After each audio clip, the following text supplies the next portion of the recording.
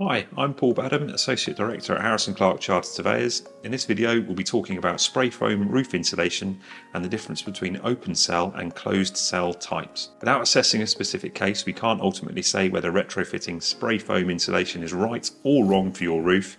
However, if you have made the decision to install insulation, we'll provide you with some advice on what sort of documentation that you should request from the installer.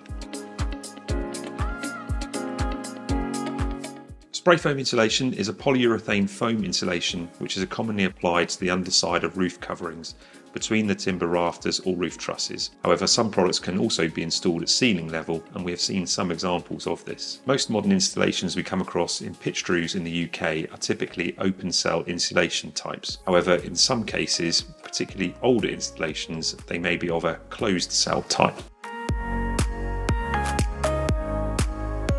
In these products, the cellular structure of the insulant is not totally encapsulated. It has a light, low density structure and it expands more readily to fill gaps, so it may be easier to install in complex roofs or where access is restricted. Whilst it adheres to the roof structure, it can be cut away more easily, allowing it to be easily trimmed back and lined with plasterboard and vapor control layers, layers within loft extensions. Open cell products are also marketed as vapor permeable in that they will allow moisture vapor to pass through them. Consideration will therefore be needed on how any condensation risk from moisture vapor will be managed or mitigated. Closed cell insulation is a much denser product with a fully closed cellular structure. It doesn't generally expand to the same volume as open cell insulation and is much more rigid. It adheres to the roof structure very well and can be very difficult to remove. Closed cell cell insulation is less vapor permeable and is marketed as having improved thermal performance at a lower volume compared to open cell insulation. Therefore, it may be advantageous where space is limited. It has been marketed as stabilising roof coverings to secure loose tiles or slates. However, we would never recommend such foams are used for this purpose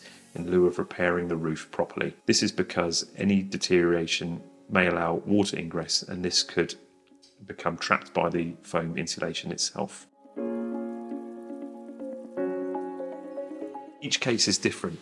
Changing the position of the insulating layer and altering the level of ventilation of the roof is a fundamental change to how the roof was originally designed to perform. Therefore, it is of vital importance that the installer considers several issues prior to the installation. This should always include a condensation risk or a hygrothermal assessment. This will assess whether there will be any risk of damage because of the change. The moisture content of the timbers should also be recorded and confirmed as satisfactory. A suitably qualified person should also fully assess the construction and its condition, including whether there is any underlay, its type and condition, and any signs of damp or water ingress. Also, the condition of the exterior coverings, flashing details, and the like should also be inspected. Most insulations of this type are combustible, and this means that they can contribute to the spread of fire and increase the extent of damage. We therefore recommend that you check with your building insurance provider whether this could affect your insurance policy prior to installation.